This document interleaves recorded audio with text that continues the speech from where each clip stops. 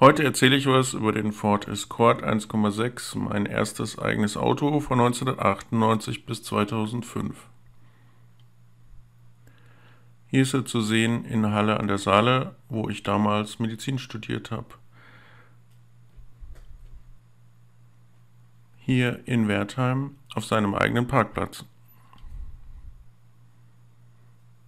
Dies war bei einem Kurs an der Universität Freiburg. Das ist der Parkplatz in Wertheim im Winter. Bei einem Hausbesuch und in der Waschanlage. Diesen Unfallschaden habe nicht ich verursacht.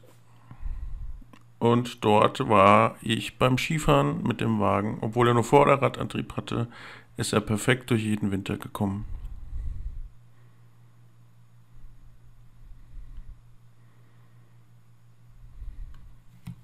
Vielen Dank fürs Ansehen.